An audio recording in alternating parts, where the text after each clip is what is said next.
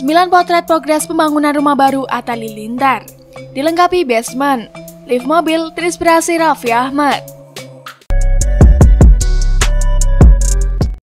Atta ternyata sudah mempersiapkan rumah untuk calon anak-anaknya kelak, bahkan sebelum menikah dengan Aurel Hermansyah. Berbeda dari hunian mereka saat ini, YouTuber kondang ini benar-benar membangun rumah baru tersebut dari nol. Seperti apa tampilan rumahnya sekarang? Intip slide foto berikut. Atta Halilintar dan Aurel Hermansyah menyambangi proyek pembangunan rumah baru yang nantinya akan ditinggali anak-anak mereka.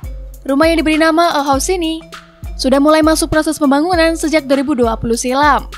Saat ini, mulai terlihat rangka dan bentuk bagian dasar rumah. Sama seperti rumah yang saat ini dihuni oleh Atta dan Aurel.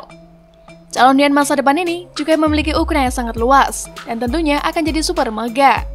Selain dilengkapi kolam renang, rumah baru keluarga Atta dan Aurel juga memiliki basement untuk memarkir mobil-mobil mewah mereka.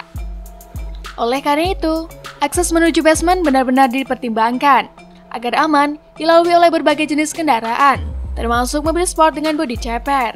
Seperti diketahui, Atta Halilintar sendiri memang gemar mengoleksi berbagai macam mobil mewah, sehingga keberadaan basement ini cukup penting baginya. Basement rumah baru Atta dan Aurel berukuran cukup luas, dan bisa menampung beberapa mobil sekaligus, termasuk mobil milik tamu yang berkunjung. Atas secara khusus menyiapkan lift untuk memasukkan mobil ceper. Ia mengaku mendapatkan inspirasi dari Raffi Ahmad, yang saat ini juga sedang membangun rumah dengan basement.